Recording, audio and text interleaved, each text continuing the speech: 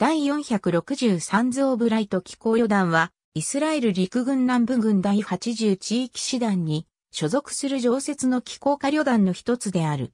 第460機構旅団は、機構学校バハード語の一部として、機構科訓練部隊の役割を担っている。イスラエル地上軍の機構訓練学校は1948年の初めに設立された。第一次中東戦争の戦闘期間中には、当時のイスラエルの保有する戦車は、すべて第8機構旅団によって運用されており、機構学校は活動を中止していた。戦闘終結後、1949年9月に機構学校バハード語の名称が与えられた。1956年の第二次中東戦争の後、イスラエル軍は機構部隊の重要性を再認識し、機構学校には第454機構旅団として旅団番号が与えられた。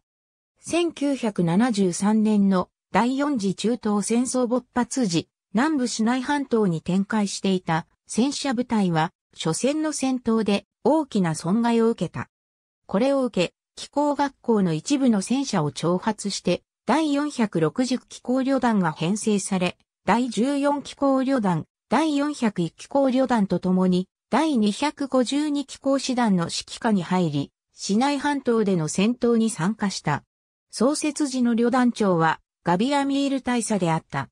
この戦争後、第460機構旅団は、第454機構旅団とともに、戦車兵の訓練を行う部隊となった。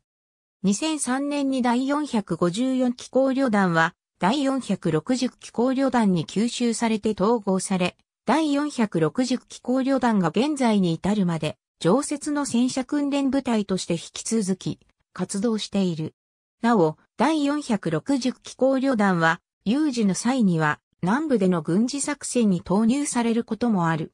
2014年のプロテクティブエッジ作戦の際には、第401機構旅団と共に作戦投入された。